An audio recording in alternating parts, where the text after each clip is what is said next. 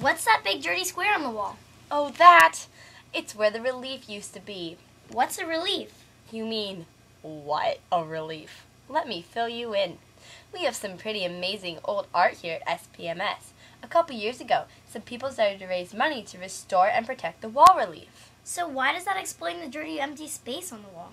The dirty space is where a 500 pound cast stone sculpture used to hang. Why do we have that at our school? It was made in 1933 by an artist from San Diego named Donal Hord. Trippy name, old school. No doubt. He named the artwork CCC Workers. What does CCC stand for? Civilian Conservation Corps. Well, that's not really helpful. Relax. I'll explain. When Franklin Roosevelt became president during the Great Depression, he began two programs to help people.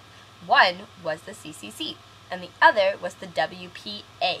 LOL. Nice work, FDR. But what's that got to do with SPMS? The Civilian Conservation Corps was the place where young guys could get work, education, and job skills and stay healthy. Okay, so what in the world in the WPA? It stands for FDR's Work Projects Administration. Meaning? Roosevelt wanted to pay artists to make art for public places, like post offices and schools. Great idea. How did you come up with that?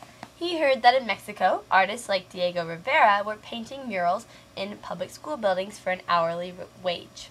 Sounds like a win-win to me. Yes!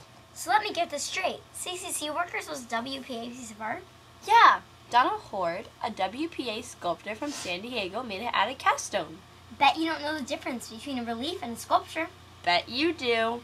A sculpture is a piece of art you can walk around, and a relief is attached to a wall. This must explain the black space on the wall. Somebody took our relief!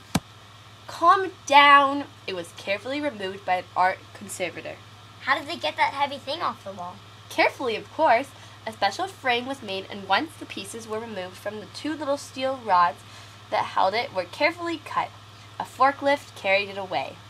What? I wish I could have seen that. I know, huh? It happened this summer.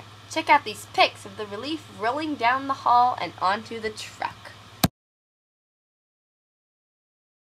Now, fast forward to November 2011, when the restored relief was brought home to SPMS. What did the conservationists do? Well, they took off the old paint for one thing. Paint? Yeah, someone had covered it with house paint and then later sandblasted it. Yikes, that must have been hard on it. For sure. That's why the conservator had to be so careful. Oh yeah, just fix what's wrong, don't make it worse. Sort of like that. Whoa, it has its own go-kart. This cart kept it safe while it was being moved So where is it going, and where is it now? to its new home in the lobby of the auditorium. Good idea. Our auditorium is really old and pretty sweet looking. For sure. It was built in 1928 by Norman Foote Marsh, a really important architect who specializes in designing schools. Amazing! That was 84 years ago. I bet the students were just as excited to have a new auditorium as they were to finally get our new gym and library this fall. So, the good news is that the relief is now clean, safe, and is ready for us to look at it.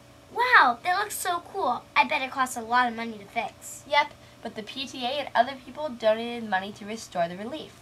Then the National Trust for Historic Preservation gave SPMS grant money to complete the job. Do we have to pay them back? No, it was a gift. How great is that? Look, some guys are wrestling. And there are some cooks watching. Sure are. Do you see them building a road on the left? Watch out for the rattlesnake. When you look carefully, you see all kinds of men are help were helped by the CCC. They look like a lot of different kinds of people, just like the kids here at SPMS. Look, the conservator signed the wall behind the relief. But what's the story of the other art around here? Thought you'd never ask. The Hord relief is just one of the great pieces of art here in the auditorium. I've seen that big painting over the stage in the auditorium. That's the Madonna of the Covered Wagon, and it was painted in 1928 by Lucille Lloyd. But do you know about the missing murals? More missing art. You make me crazy. Cali artist named Millard Sheets painted three murals in 1932 called The Farm, the Harbor, and the City. Look at that old pic of typical middle school kids in the 1930s. Trippy, huh? It was called a junior high then.